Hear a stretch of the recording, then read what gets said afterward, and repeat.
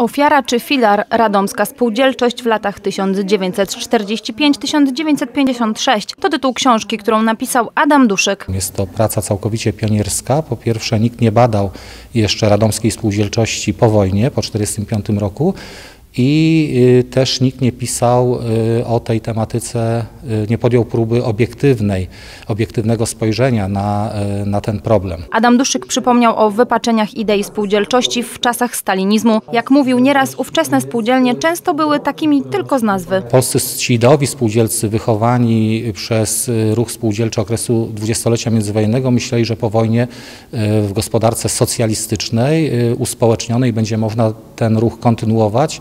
No, po 1948 roku wszyscy się rozczarują, bo nic z tego nie będzie spółdzielczość stanie się kolejnym narzędziem w rękach y, Polskiej Zjednoczonej Partii Robotniczej. Praca nad wydawnictwem o radomskiej spółdzielczości trwała trzy lata. Autor książki musiał dotrzeć do dokumentów, publikacji czy przepisów prawa. W ogóle okres PRL-u bada się w bardzo trudny sposób, dlatego że źródła, które ma do dyspozycji historyk, czyli prasa, akty prawne, e, różnego rodzaju publikacje są kompletnie nieobiektywne. I kiedy chcemy pisać o wypaczeniach idei spółdzielczeń, my w tych oficjalnych źródłach tych wypaczeń nie znajdziemy. Druga z zaprezentowanych na retrospotkaniu książek to Podróże, wycieczki, wyprawy Radom i okolice 1880-1914. Autorem tej pozycji jest regionalista Stanisław Zieliński. Wybrał on trzy opisy autorstwa Stanisława Przyborowskiego, Michała Modzelewskiego i Stanisława Zdzitkowieckiego, przedstawiające Radom i nasz region przed I wojną światową. Cykl retrospotkań odbywa się po raz czwarty. Organizatorami są Ośrodek Kultury i Sztuki Resursa Obywatelska oraz portal Radom Retrospekcja.